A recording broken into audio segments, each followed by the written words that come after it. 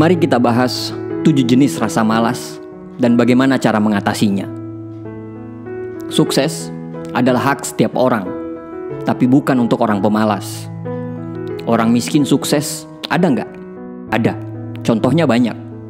Orang jelek sukses ada nggak? Ada. Contohnya banyak.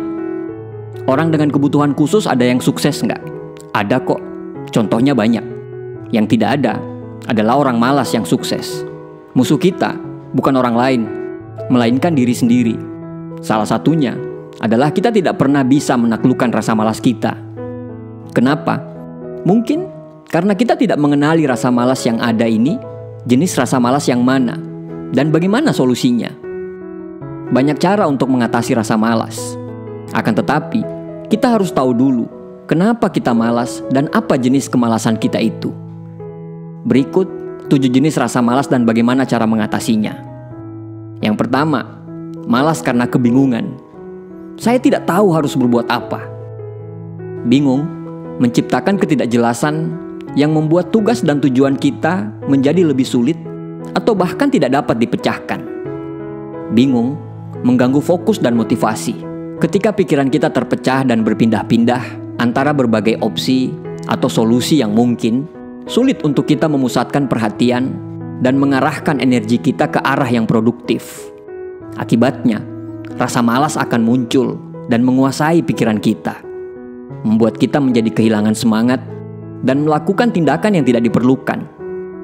Bingung sering kali membawa keputusan kita menjadi terhambat atau tertunda. Ketika kita terjebak dalam analisis berlebihan atau terlalu banyak pertimbangan, rasa malas akan datang sebagai hasil dari ketidakmampuan untuk mengambil keputusan dan bertindak. Untuk melawan rasa malas yang disebabkan oleh kebingungan, penting untuk menetapkan tujuan dengan jadwal yang jelas. Ketika ingin melakukan sesuatu, jangan minta pendapat ke banyak orang. Cukup satu atau dua saja yang benar-benar Anda percaya. Dengarkan kata hati dan gunakan akal sehat. Usahakan untuk banyak belajar, karena orang cerdas susah untuk bingung. Yang kedua, malas karena ketakutan. Saya tidak akan bisa. Takut menciptakan perasaan yang tidak aman dan ketidakpastian yang membuat kita enggan untuk mengambil resiko atau menghadapi tantangan.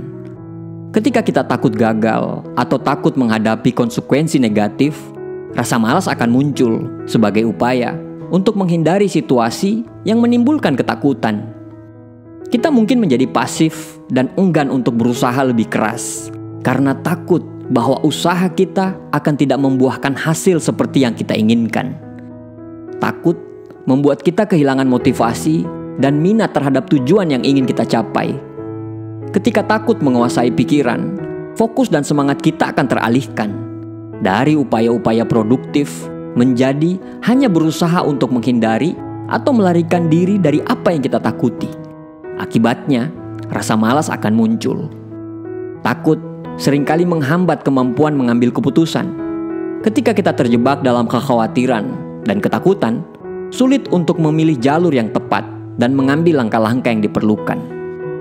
Untuk mengatasi rasa malas yang disebabkan oleh rasa takut, penting untuk menghadapi ketakutan dengan keberanian. Coba kalahkan ketakutanmu, karena biasanya percobaan pertama terasa begitu mendebarkan.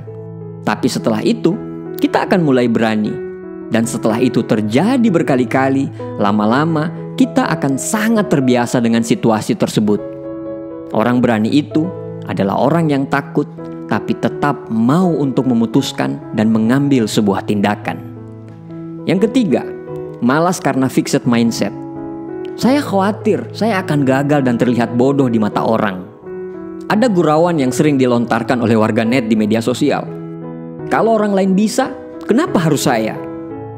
Jika ini dibedah lebih jauh lagi, di balik candaan tersebut ada kepercayaan yang membatasi diri untuk berkembang dan menghadapi tantangan. Ya, dibandingkan memotivasi diri untuk terus maju, lebih baik diam saja, menyaksikan kesuksesan orang lain. Dengan kata lain, menyerah sebelum bertanding karena takut mengalami kegagalan.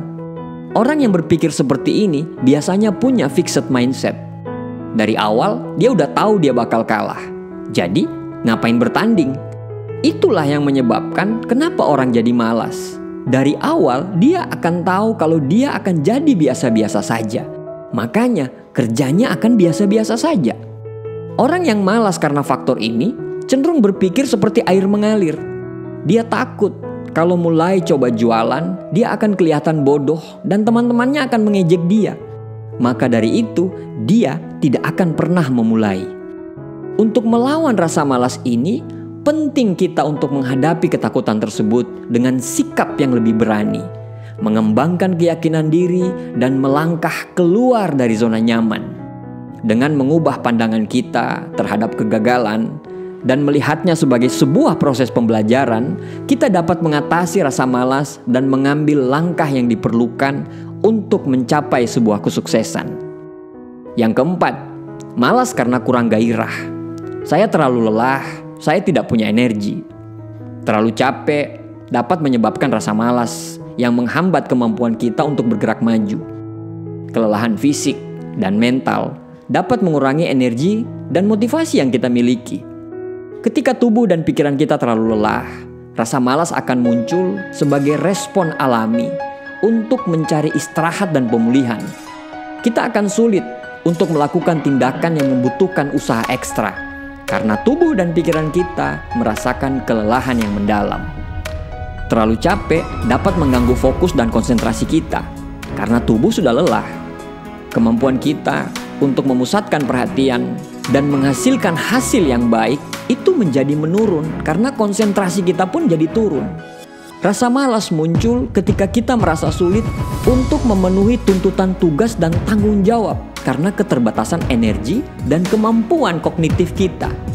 Kita mungkin menjadi enggan dan tidak termotivasi untuk melibatkan diri kita dalam aktivitas yang membutuhkan ketelitian dan upaya yang maksimal.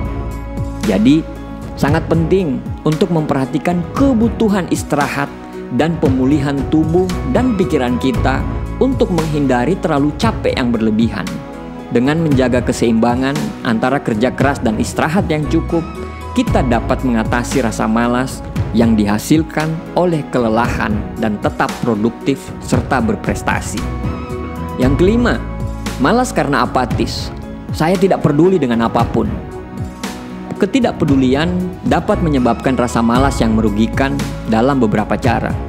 Pertama, ketika seseorang tidak peduli terhadap tujuan, tanggung jawab, serta tugas yang dihadapi, rasa malas akan muncul sebagai konsekuensi alami Ketidakpedulian mencerminkan kurangnya motivasi dan minat terhadap yang perlu dilakukan.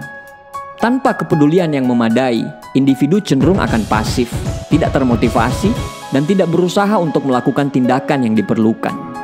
Ketidakpedulian juga dapat mempengaruhi kerjasama tim dan kinerja tim keseluruhan. Ketika seorang individu tidak peduli terhadap tanggung jawab dan kontribusi mereka dalam konteks kelompok dan organisasi, ini dapat menular kepada orang lain di sekitarnya. Kurang perhatian dan keterlibatan yang ditunjukkan oleh individu yang tidak peduli dapat menurunkan semangat dan motivasi anggota tim yang lain. Akibatnya, rasa malas muncul karena kurang dorongan dan dukungan untuk melakukan tindakan yang diperlukan untuk mencapai tujuan bersama. Jadi, penting untuk mengembangkan sikap yang peduli dan bertanggung jawab terhadap tugas dan tujuan yang dihadapi dengan menjadi peduli, kita dapat melawan rasa malas, meningkatkan motivasi, dan mencapai hasil yang lebih baik dalam hidup kita. Yang keenam, malas karena penyesalan. Saya sudah terlalu tua untuk memulai, semua sudah terlambat. Penyesalan memiliki potensi besar untuk menyebabkan rasa malas yang merugikan.